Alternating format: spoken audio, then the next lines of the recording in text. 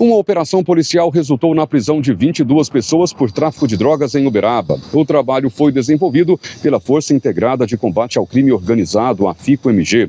A Operação Terceiro Tempo teve como objetivo desmantelar o crime organizado e o tráfico de drogas em Uberaba e Araxá, além da cidade de Naviraí, Mato Grosso do Sul.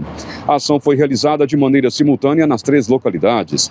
Das 22 pessoas presas, 19 foram em cumprimento de mandados de prisão, duas por tráfico e uma por receptação em flagrante. O trabalho contou com dois veículos apreendidos, assim como o cumprimento de 30 mandados de busca e apreensão, além da execução de um termo circunstanciado de ocorrência, um TCO, por tentativa de fraude processual.